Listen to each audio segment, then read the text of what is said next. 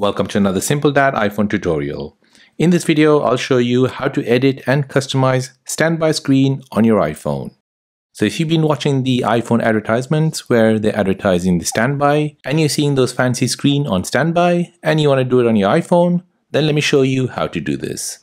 So with your standby, by default, you'll see this screen here, which is your normal time. And on the right hand side, you'll see your weather, calendar, events, and reminder. So from the websites and advertisements, you have seen a different screen and you want to know how to customize this. So it's very simple to customize this screen here. You've got three options. So first here you have your normal view, which is your date and the temperature. If you swipe left, you'll be able to showcase your photos in a slideshow manner. Again, if you swipe left, you'll see this big analog clock.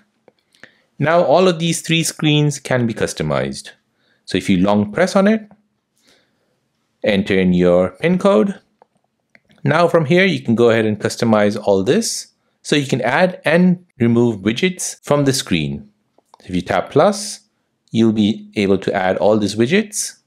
If you tap on clock, you have different choices of clock. Now if you swipe left, you'll be able to customize this as well if you long press on it. Give it some time, it'll find some photos of people and add it to the screen.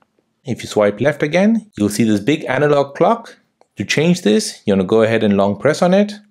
And now if you swipe up, you see those different styles which you've seen on the advertisements. So here, this is what you've seen, or you can see a solar clock. This is another clock which you can see as well. To select it, go ahead and tap on it and this is how you'll see it. If you want to customize this clock, go ahead and long press on it and then tap on the circle here at the bottom right. This will let you choose all the colors.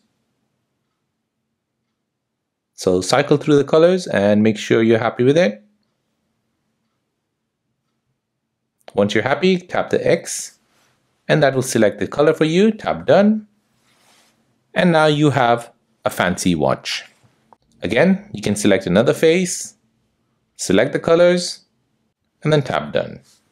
So there you go guys, that is how to edit and customize your standby screen on iOS 17. Now if you're new on the channel and you want to find out more about your iPhone, your Android phone, or any other social media apps, then don't forget to subscribe to this channel. Hit the like button if you find this video useful.